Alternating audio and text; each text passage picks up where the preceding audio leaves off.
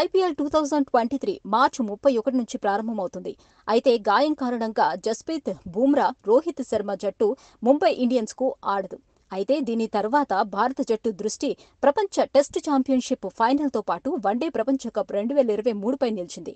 అయితే జస్ప్రీత్ బూమ్రా ఎప్పుడు తిరిగి రాగలడు? జస్ప్రీత్ బూమ్రా గాయం గురించి అప్డేట్ ఏమిటి? నిజానికి బూమ్రా ఇటీవల శస్త్రచికిత్స చేయించుకున్నాడు. అయితే ప్రపంచ కప్లో బూమ్రా కోలుకుంటాడని భారత జట్టు మేనేజ్మెంట్ బీసీసీ ఆశాభావం వ్యక్తం చేస్తున్నాయి. అయితే బూమ్రా విషయంలో బీసీసీ ఎలాంటి రిస్క్ తీసుకోవాలనుకోవటం లేదు. దీని కారణంగా ఈ ఫాస్ట్ బౌలర్ ప్రపంచ కప్ వరకు ఆడాడు. అదే సమయంలో ఈ ఏడాది అక్టోబర్లో ప్రపంచ కప్ జరగాల్సింది దాదాపు పన్నెండేళ్ళ తర్వాత భారత గడ్డపై ప్రపంచ కప్ నిర్వహిస్తున్నారు.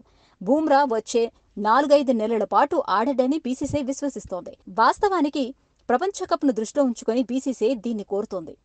ఈ కారణంగా జస్ప్రీత్ బూమ్రా బహుశా ప్రపంచ కప్ వరకు ఏ టోర్నమెంట్లోనూ భాగం కాలేడు. శస్త్రచికిత్స తర్వాత బూమ్రా పూర్తిగా ఫిట్గా ఉండటానికి చాలా సమయం పట్టొచ్చని నమ్ముతున్నారు. అయితే ప్రపంచ కప్ నాటికి బూమ్రా ఫిట్గా ఉంటాడని బీసీసీ ఆశాభావం వ్యక్తం చేసింది. విశేషం ఏంటంటే భారత జట్టు ఫాస్ట్ బౌలర్ జస్ప్రీత్ బూమ్రా చాలా కాలంగా జట్టులో లేడు. జస్ప్రీత్ బూమ్రా చివరిసారికి రెండు వేల ఇరవై రెండులో ఆస్ట్రేలియాపై భారత్ తరపున ఆడాడు. అప్పటి నుంచి క్రికెట్కు దూరంగా ఉన్నాడు. అయితే ప్రపంచ ప్రపంచకప్లో బూమ్రా ఖచ్చితంగా కోలుకుంటాడని భారత జట్టు మేనేజ్మెంట్తో పాటు అభిమానులు కూడా ఆశాభావం వ్యక్తం చేస్తున్నారు. Please subscribe media please like like share and subscribe please subscribe to Prajna media please like share and comment if you like the video Prajna media